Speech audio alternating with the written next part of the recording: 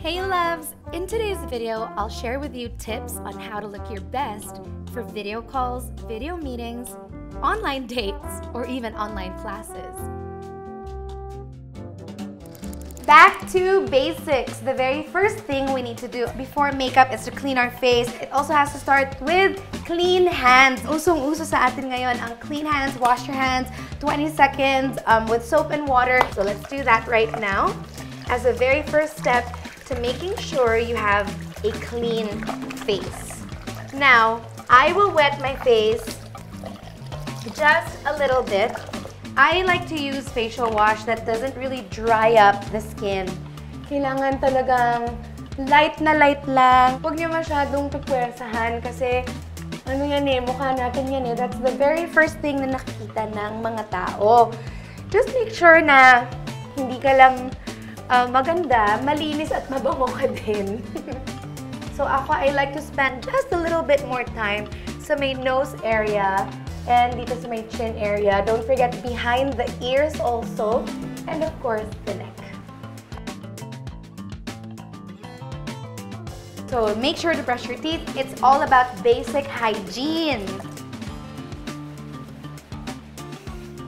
Pag pinunasan niyo yung face niyo, don't rub it so much. Just make sure you pat dry.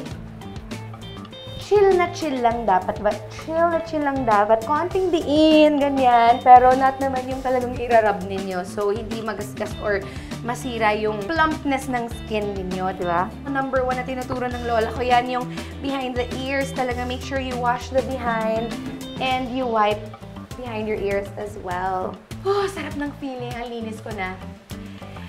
Before I do my makeup, you might wonder what I do. I like to moisturize just a little bit before putting my makeup on. The reason why is because um, we usually look dry or super matte um, kapag hindi tayo nag-moisturize. Anyway, hindi naman kayo lalabas ng bahay. This is a, a video call. Um, and usually our meetings are now on our computers, our laptops, or our phones online. So it doesn't hurt to moisturize your skin. I like to use moisturizers that dry up really fast para hindi greasy or oily. I like to use a serum or my favorite moisturizer. Don't forget around the lips and the hands para hindi sayang. And I also like to put serum around my eyes. The point of using moisturizer is so that dewy yung itsura, hindi masyadong dry, hindi rin ma matapang or mahapdi sa skin kapag magpa-powder tayo. Kasi of course, para walang oiliness sa screen pag nag-video call. Tsaka mabubuhayan ka ng dugo. Ako pag nagmo-moisturize ako, parang nagigising ako. Alright? I think I am ready. Yung buhok ko, ganyan na muna siya for now kasi Blinow dry ko siya, tinali ko siya. Mamaya pag tinanggal natin yan, mag-wavy-wavy siya. So, let's go and let's do our 5-minute makeup. Perfect for our video calls. Ang pinaka-important na step sa lahat bago mag-makeup ay tandaan, kailangan may makeup table ka. I never had a makeup table growing up kasi um, bara-bara talaga ako tsaka nagtitaping ako and nag-start na akong mag-teleserye at pelikula. But I would normally do my makeup sa car and papunta ng meeting. Sa kotse lang talaga ako nagme-makeup at meron akong makeup mirror dun sa may kotse at dun talaga ako nagme-makeup. But nung natuto na akong mag-take ng time in between projects, natuto na rin akong mag-setup ng makeup corner or makeup table and makeup chair sa aking room. So, ang very, very first step pag nandun na ako sa makeup table ko ay, of course, bukod sa magandang mirror at mga ilaw, magsisindi talaga ako ng candle. Super favorite ko talaga mag-makeup na mabango yung naamoy ko and I'm very inspired by good scents and anything that smells good.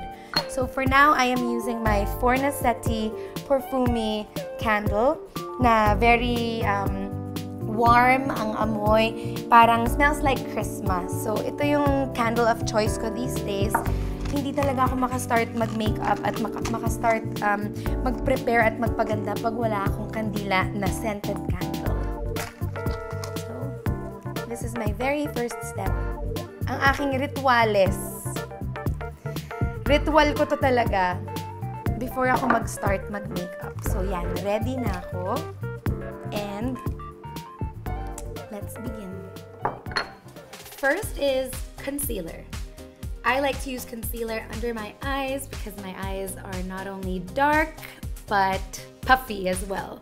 So concealers come in many different forms. I use a stick, but there are potted creams and pencils, and you can use anything basta kung saan kayo hiyang. So you place your concealer using your ring finger, and ingatan lang ang paglagay kasi super sensitive ang skin under your eyes.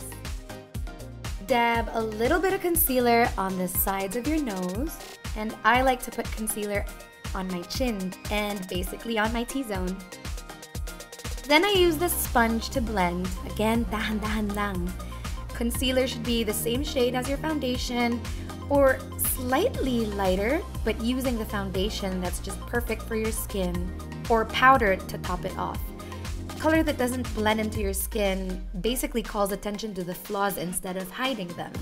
So, gumamit lang ng tamang shade ng concealer, not too light and not too thick, or you can also use foundation to cover it up to keep it light and not heavy. And use a powder that also works as coverage.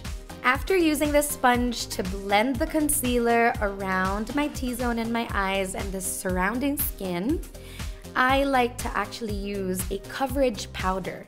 This is facial powder that provides coverage instead of foundation. It keeps it light, it keeps it fresh, and I like to go from center and move outward and blend. So you see the difference from my right eye and the other one without the coverage powder. So I dab it on my nose, I dab it on all the parts that I've placed the concealer to seal that concealer and blend it around my face. So I like to use a slightly lighter powder on my eye bags and my T-zone and a slightly darker powder around. And don't forget your T-zone area and of course your neck and your ears. Your ears are the most important part because that's what gives away the true skin color that you're trying to blend. We're almost done with the coverage powder. stroke upwards if you can and don't drag the skin too low. And now I'm excited to tell you that I am not putting powder on my eyes because I'm going to use the natural oils to help blend with my eyeshadow stick. So this is one of my favorite eyeshadow products. Kailangan ko talaga ng mata, although malaki na yung mata ko. It just adds a little bit of drama and madaling-madali lang gamitin yung ganitong eyeshadow stick. Just put a tiny amount on your ring finger again so you don't put too much pressure. So make sure you do the right and the left eyes evenly. And I like to choose a sort of neutral shade. And since it's a video call meeting or date, we don't need crazy dark shades. I also like to use actual powder eyeshadow for that highlight on the brow bone. When the light hits your eyes, it will bounce off of the areas where you put highlight. And iniinit ko yung eyelash curler ko.